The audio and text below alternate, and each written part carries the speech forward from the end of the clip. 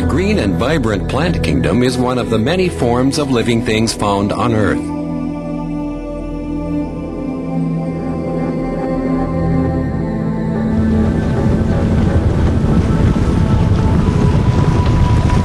The rulers of the animated kingdom are human beings.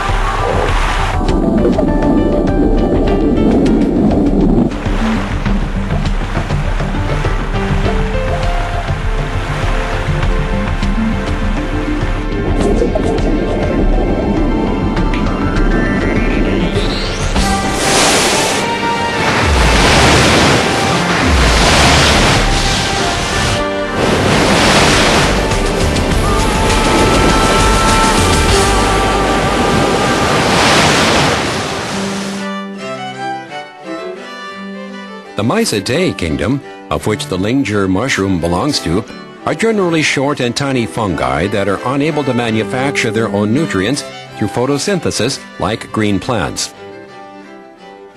They can only be either earth-bred or lead a parasitic life by breaking down and surviving in the nutrients of other plants and animals.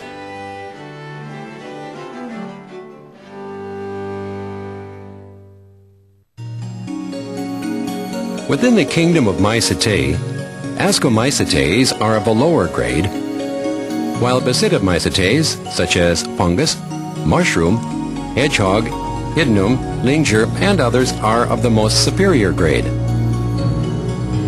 The Basidiomycetes have a very close relationship with mankind. Many are edible and have excellent healing properties. These fungi naturally became the most precious herb of the Mycetae kingdom.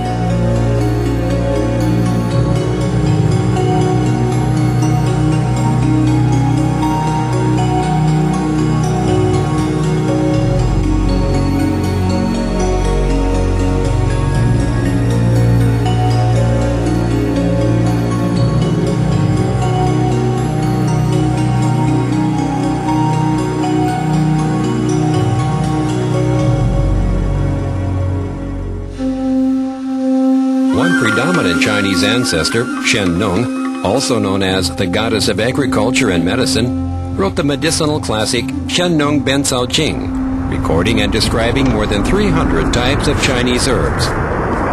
In the book, Lingzhi was highly regarded, and the medicinal classic stated that long-term consumption of Lingzhi will not only promote longevity, but will also make one look like a heavenly being.